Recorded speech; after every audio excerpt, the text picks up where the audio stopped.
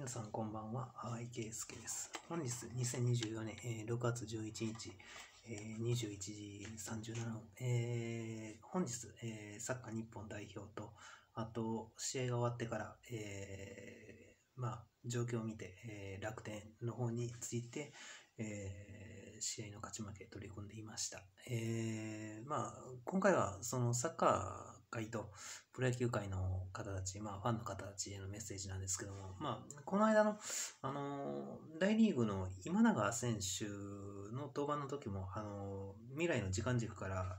淡井圭介のその硬さを渡してるんですね。で、本人もその内容に、あの反応して返答しています。で、えーだからまあその日、えーまあ、途中で起きたりとか、まあそういうことがあったのかもしれないんですね。まああの大体多分そうだと思いますよ。未来からの時間軸の声掛け等で、まあテレビのニュースの放送とかで、で、明確にまあ渡してる渡してないだとか、まああのですので、まあ、リアルタイムの時間軸の淡いケース系で対応しましたので、今日のあのサッカー日本代表の試合、阪神タイガースが4-0で、まあ、負けたり等はあるんですけども、もうこれは致し方がないですね。あと、まあ、DNA の方に、まあ、あの勝利を回すような形で、で、楽天がなんとか間に合って、えー勝つことができたと。まあ、ロッテ、楽天をパ・リーグで推していて、まあ、特に、えーまあ、楽天がという部分がありますが、まあ、ソフトバンクはなかなか、まあ、あのちょっと大型連敗でもしてもらわなかったなという部分がありますね。だからまあ、戦うという意味では、だからまあ、ソフトバンクとその対戦してるチーム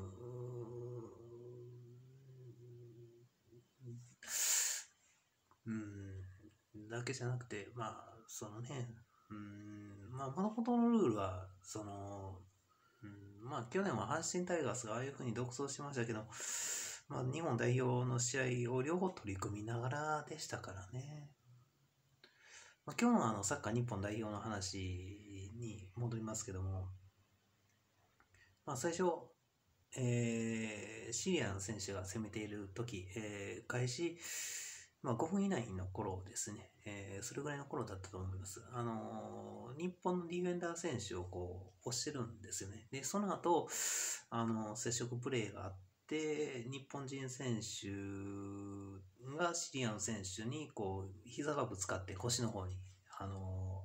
当ててしまってると。で、その腰の痛みがちょっと、まあ、その後、えー数分後に僕の方に来まして、で、まあ、あのそのあたりで最初1点取ってますね。で、その後、うん、まあ、同じような現象っていうのは日本人選手にも後半起きてるんですよ。相手シリア選手のその膝が、あの別に狙ってるわけじゃなくて、あある程度、あのー全力でプレーしていたら、ある程度の接触っていうものは、まあ、あると思います。だからまあ、線引きのところ、あのーまあ、どの辺がファールで、どの辺が、その、イエローカードだとか、まあ、その辺の線引きっていうのはなかなか難しい部分はあったんですけども、まあ、結構押していたりとか、まあ、その、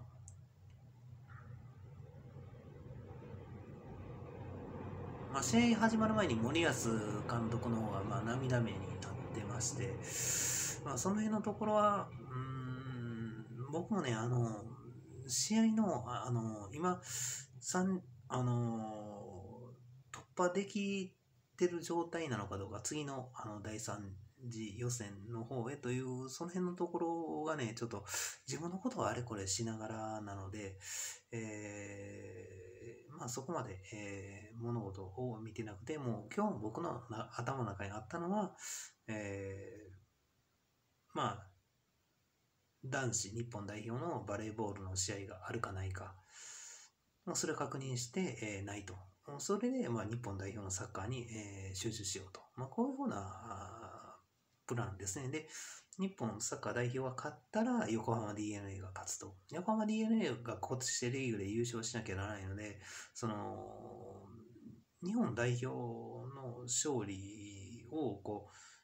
横浜 DNA にちょっとこう持っていかなかったら、なかなか現状厳しい。まあ、まあ、ある程度阪神タイガースの順位が下がってしまうことも、想定して、えーもう物事を組み立てています。そうじゃなかったらやっぱり日本代表のそのワールドベースボールクラシックを取り行うものとしてのその法の下においての平等ですね。だからその辺のところで、えー対応してますよね。まあ、森保監督の方は、あの、もう次のステージへ行けるのに、その日本代表に取り組んでるっていうところで、まあ涙目になってたのかもしれませんけども、だから僕は睡眠不足になるかならないかなのかのところで、そのずっと言ってるのはプロ野球選手に関しても、そのもう西海岸の方に、西地区の方に行って試合をしてほしいと。で、えーアメリカ球界に言ってるのも、結局その横の動きが無駄であると。でもこれ話総合すると、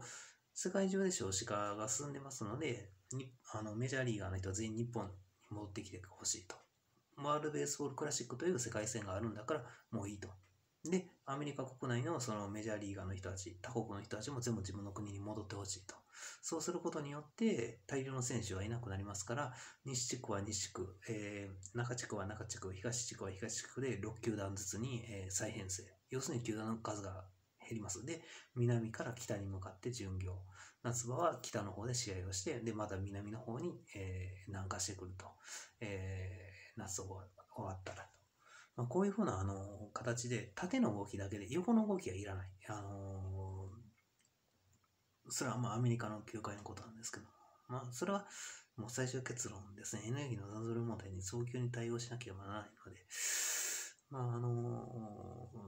そうすることによって、結局、まあ、僕の方も試合の、そのスイング不足にさせられなかったり、こうする。まあ自分からは私と、未来の時間軸からだから、どうしても例えば日本人選手が苦境に陥っている時に、何かこう、やっぱり自分から率先してそう行動してしまうわけじゃないですか。僕もずっとか、あの、スポーツの勝ち負けに取り組んでいて、その、なんていうんですかね、その、勝負師としての、その、絶対こう、負けてはならないっていう、そういう分、まあ、それはエネルギーの残存問題に取り組む姿勢もそうなんですけども、まあ、あの、その辺のところで、まあ、あの、こちらも行動してますんで、えー、うん。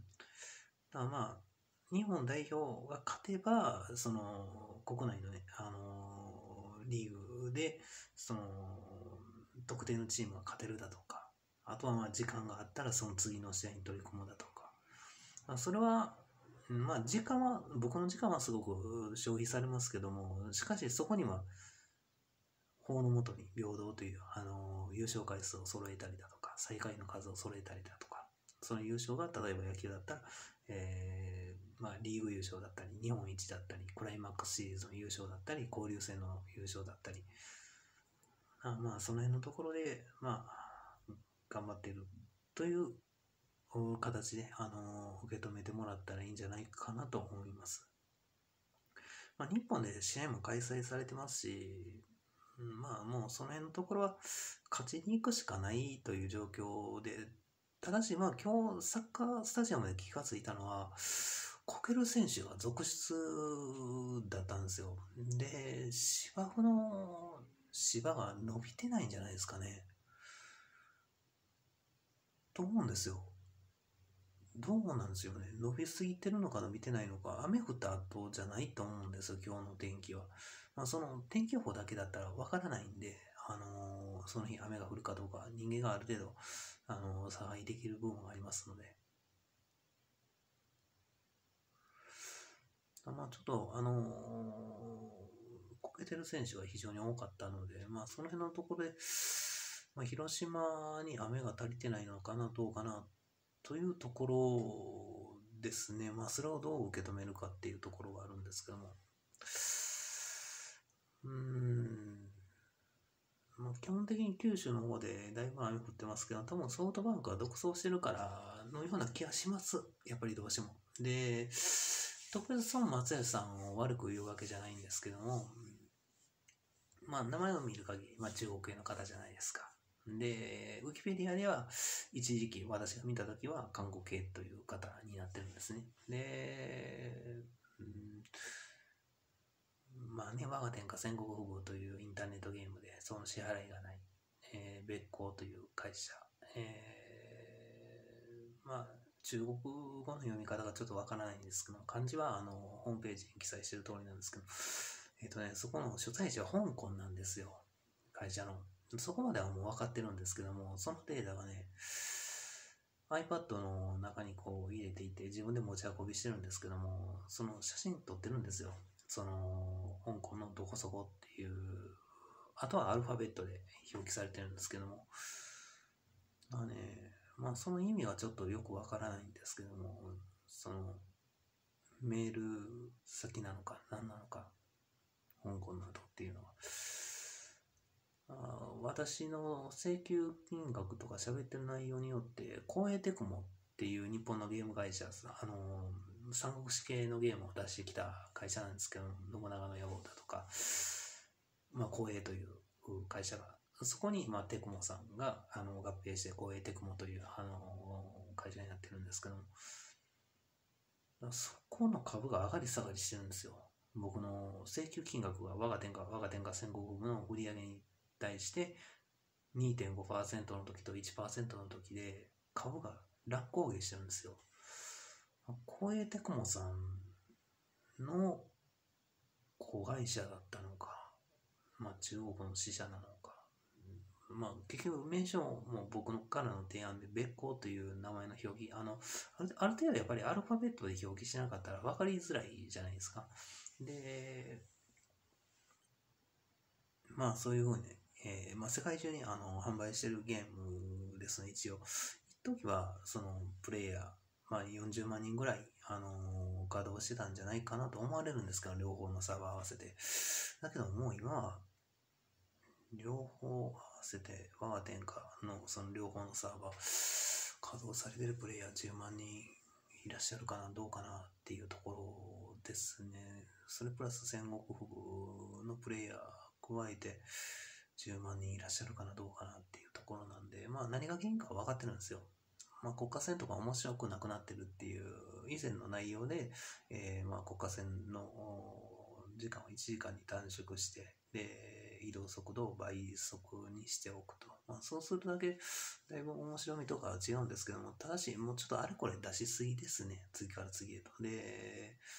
ずっとお金を支払ってる人の方は、やっぱり持ちこたえない、られないっていう内容になってしまってるんで、その辺のところをまあ改善しなきゃならないんですけど、まあ話がちょっとスポーツ業界から大分数でしまって申し訳ないんですけども、グラウンドプラス、いや、どうしてもね、そのゲームの話になってしまった雨の降り方なんですよ、九州の。まあ、その辺のところがね、だから変にソフトバンクが勝ちすぎてるから、やっぱりあのー、九州に雨が偏ってる。で、その、元をたどっていくとね、その、わかんないですよ、その、光栄テクモさんのその株価上下してるそのインターネット記事が、そのインターネット記事って古いのも急に流れ込んでくる時あるじゃないですか。だからその辺のところで何か天気を操作しようとしてるのか、ただしもう本当のことが、その法律側のそのコンピューターの稼働の仕方っていうものが、多分優先順位高いと思うんですよ。だから嘘なしで、そうじゃなかったエシュロンとかのシステムっていうものが全く役立たないことになってしまいますから。まあね、その辺のところで、うん。まあ、ソフトバンクはね、もうちょっとあのー、まあこれね、シーズン始まった時にね、そのソフトバンクが多分下の方が良かったと思うんですよ。で、勝ち始めて雨が降るんだとするのであればですよ。その会社関係のつながりとか、がありますから、じゃあ、夏場とかに雨降った方が、要するに南の方じゃないですか、九州って。涼しいわけじゃないですか。ただまあ、ある程度、まんべんなく僕は、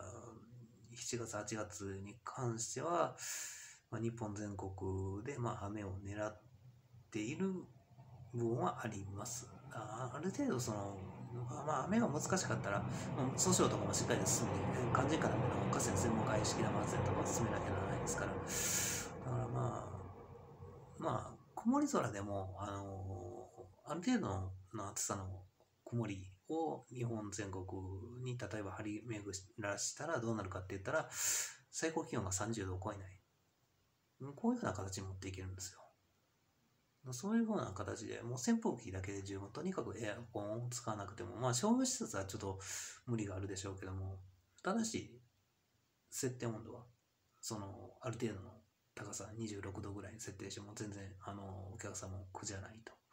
まあ27でもいいんじゃないかなと。あの、すごくしっかりと曇りで最高気温が30度に達しないのであれば。基本的に半袖である程度汗かいていたら、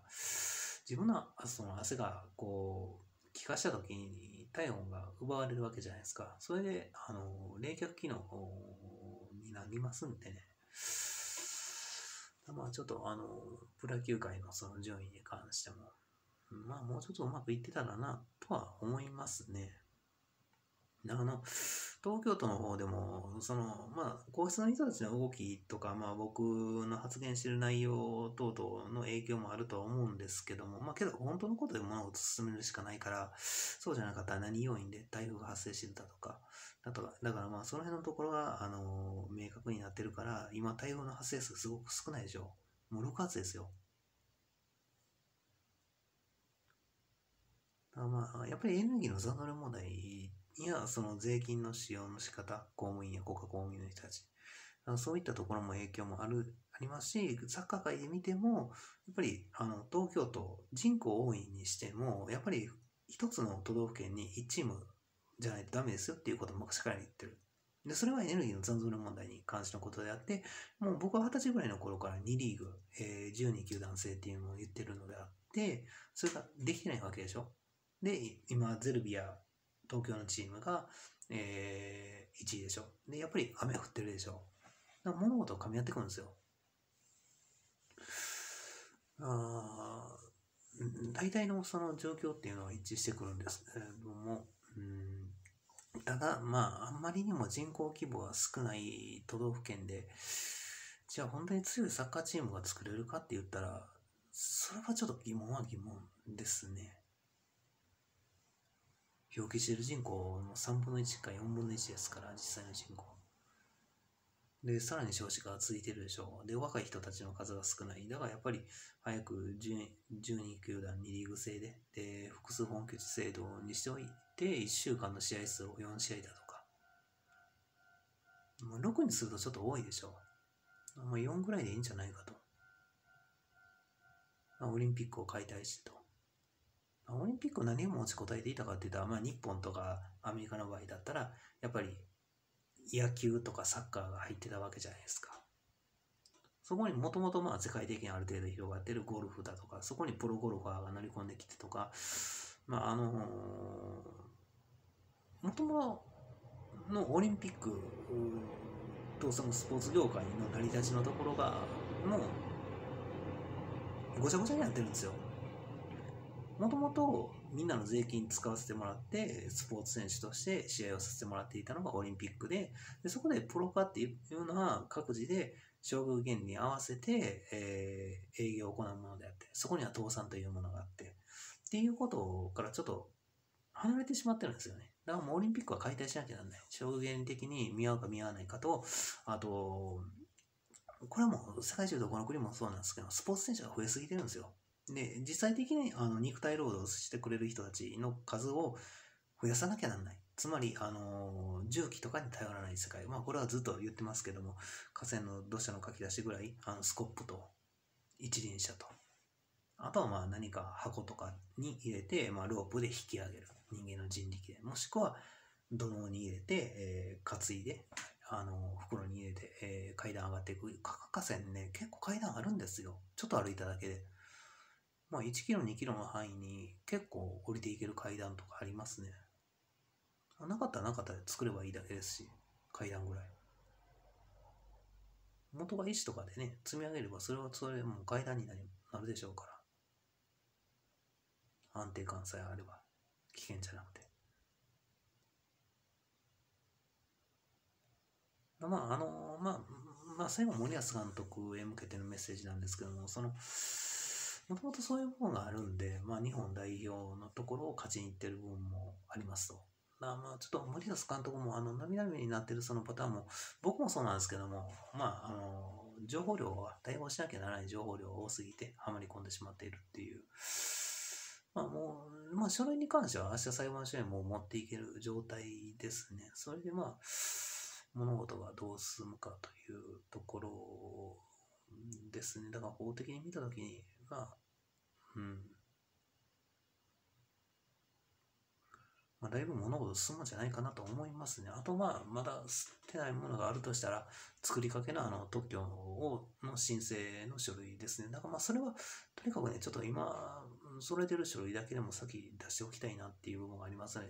今回のその会員裁判所の範囲内は、あの、提案した番組の件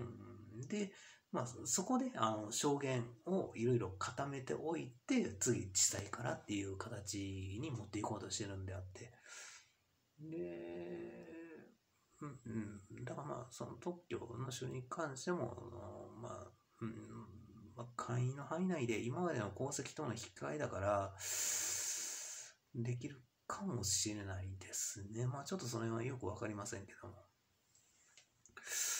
というわけで、えー、皆さん、えー、本日はお疲れ様でした。えー、まあ、阪神タイガースの選手に関しては、まあ、あのまあ、残念な結果やファンの皆さんに関しては、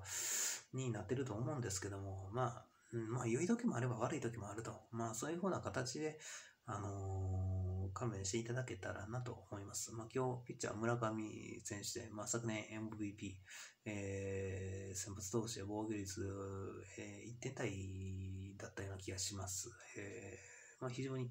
えー、優秀なピッチャーなんですけども、うん、やっぱりそちらに対応してなかったら、まあ、こういうふうな、あのまあ、もちろん日本代表選手に頭の中とか言ってるんですけども、その経営者の人たちの数字遊びといいますか、何なのか、だかまあその辺のところで、まあ、阪神タイガースが、まあ、4対0で負けてる、まあ、日本代表サッカーの方が、まあ、あのまあ、5対0、一つは、えー、オンゴールというような形で、で、うん。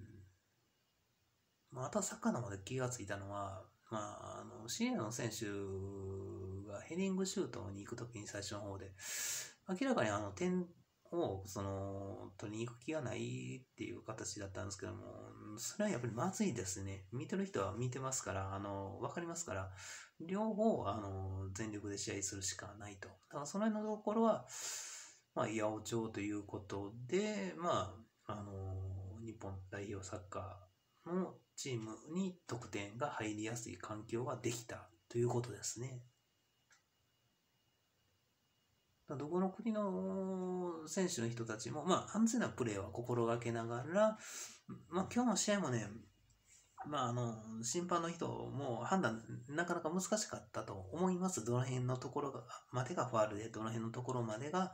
あの、イエローカードだとか。まあ、それは試合中にも、こう、うんまあ、感じたこととかも全、まあ、審判の人たちや選手とかにもこう伝えたりとかもしますし、まあ、特に最後の方なんてあのスキンヘッドのシニアの選手のファールの数が多くて多分意図的にファールしてるんじゃないかそれかそのまあ、まあ、一時はああいうふうなプレーが普通になってた時期っていうのが昔あったんですよ。26年ぐらい前、ヨーロッパの方で。で、まあ、お客さん同士でこう暴動が起きたりだとか、まあ、あんまりあの良くない時代ですね。で、そのスキンヘッドの選手ってね、最後の方、後半、日本選手、日本の選手が、えー、まあ、センターリングに近い形で、こう、ボールをゴール前に上げたときに、日本の、その、まあ、フォワードの選手かミッドフィールダーの選手か、もう忘れましたけども、こう、ジャンプしてね、飛んでるときに、もう後ろがこう、両手で押してるんですね。こう、こういう風な形で、手手のひらじゃなくて、こう押してる。まあ、あの、やりすぎ感がかなりあるんですけども、まあ、それは意味があるかないかのところなんですよね。だそれのところはね、僕もちょっとよくわからないんですよ。その、どこはどういう風な形で、うん、まあ、その楽天が巨人にこう逆転できるような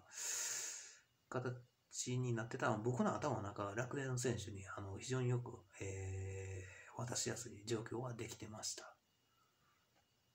からその辺のところがね、うん、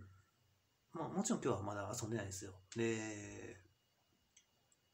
ただサッカーの試合で今日ね、あのー今日の試合中にまず笑わないっていうことを自分でもあのしっかりと考えて取り組んでたんですけども、あんまりね、意図的にこう、ファールとかシミュレーションとかをしてると、やっぱりスポーツ界のあの笑わせてくるようなことをしてきた方が悪いっていうルールがやっぱり必要になりますね。だからそれを考えて対応してます。だから正直ちょっともう笑ってしまいそうになったんですよ。心の中がね、その、あの、ちょっと笑ってるような状態になってしまって、その笑わせてくる表情にはまず出さないんですよ。なかなかそれはないです。ちょっとだけまあ皮膚が動いたぐらいでまあ対応してるので、ただあんまりシミュレーションとか何回もされたらそれ笑ってしまうでしょ。普通。だからね、それはちょっとね、それはそれでやりすぎですね。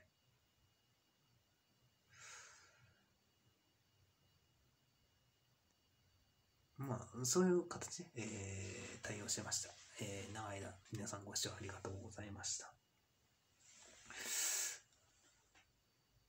チャンネル登録と着信通知の設定と、通知の設定がわからない方は身の回りの方に聞いていただいたり、とは販売店の方に聞いていただいたり、あと、まあ、淡井さんの動画見ておいた方がいいよということで、えー周りの人にお伝えしていただけたらなと思います。動画の過去365日を遡っての再生時間が、えー1600時間を、えーここ最近超えてですね、えーまあ、だいぶ再生時間が、えー伸びてきています。まあ、もう一息で、えーまあ、ライブのあの放送とかできるようになると思いますんで、えーまあ、その時にまあニュースで放送してるアナウンサーもその以前のニュースかどうかわからなくなってる時あるんですよ。まあコメントでも言い間違えてるところとかもありますんで、それを言ってしまうと、社会全体で多くの人が勘違いしてしまいますので、あの例えばね、この間の報道ステーションうんだったと思うんですが、まあ、サタデーステーションとかサンデーステーションとかありますから、ちょっとよくわからなくなってしまうことがあるんですけども、まあ、安藤もアナウンサーが出てて、大越キャスターが出てる時でしたから、まあ、報道ステーションの方だと思うんですけども、そのね、田舎の方で車を手放してしまうと、その方が費用が高くなるみたいなことをテレビで放送してるんですけども、